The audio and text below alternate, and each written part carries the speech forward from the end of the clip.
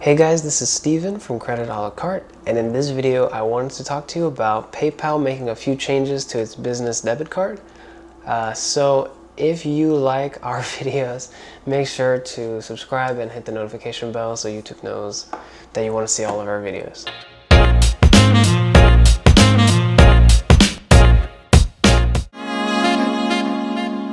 So Synchrony Bank, uh, the owner of PayPal, is getting rid of having a credit card as a backup to its business debit card. Now, you might ask why this is kind of important.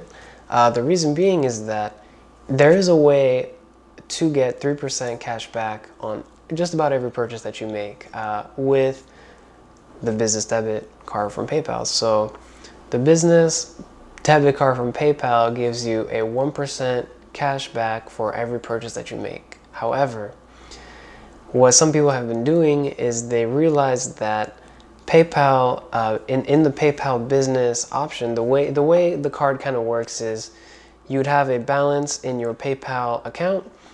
When you swipe your business debit card, it uses that balance.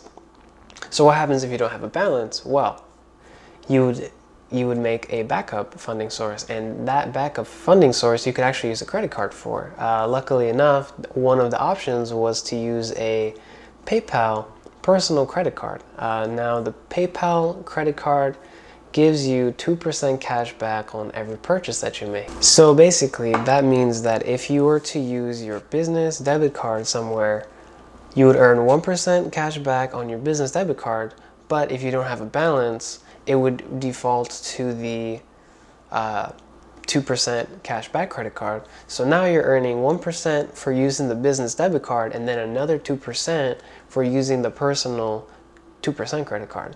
So now effectively you're getting 3% back. Um, so Synchrony doesn't really like that. I don't think that was really the original intent of uh, this. So what are they doing to change this? What are they doing to fix this? Well, in early March of 2019, what they are going to do is they are going to eliminate um, credit card as a backup funding source for the business debit card. Um, instead, what they're going to do is they are going to allow you to use your checking account.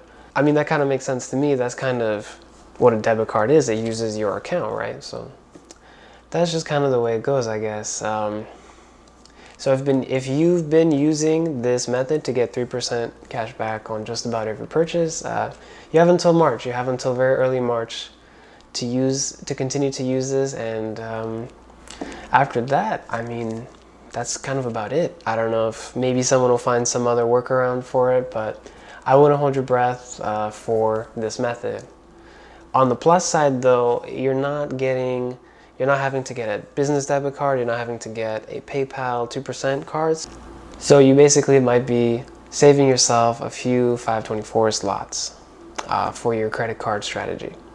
But anyway, if you guys liked our video, make sure to subscribe, hit the notification bell on YouTube, like the video, uh, you know, the usual. But also make sure to follow us on Instagram and check out our blog at creditalacarte.com where you can kind of see this video in written format. Otherwise, thanks for watching and hope to see you in a future video.